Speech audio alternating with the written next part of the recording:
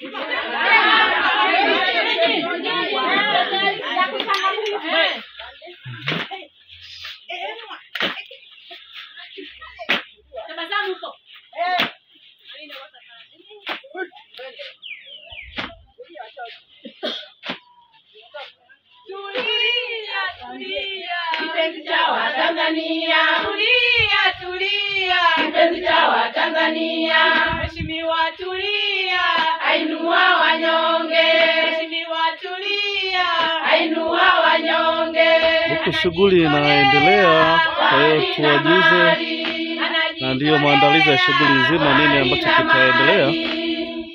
Kwa hiyo tulio mbali na tukio zima tufahamu kwamba kutakuwepo na uimbaji, na haya ni, ni maandalizi ya mwisho ambayo yanafanyika. Hivyo basi tuwasii tujue kabisa kata hii hatutaweza kuwa nyuma zaidi ya kile ambacho tunakihitaji zaidi, na hichi ni kikundi cha kina mama ambacho kimejiandaa hasa katika yale ambayo yanatakiwa yafanyike katika kata Kisabela, kijiji cha Kisabela.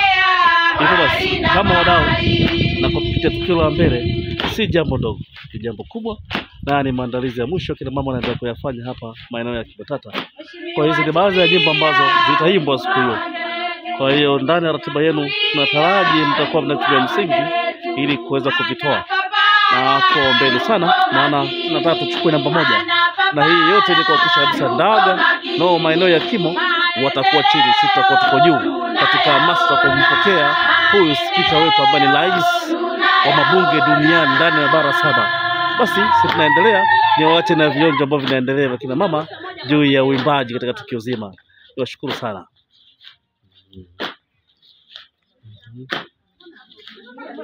Mheshimiwa tulia, ainua bunge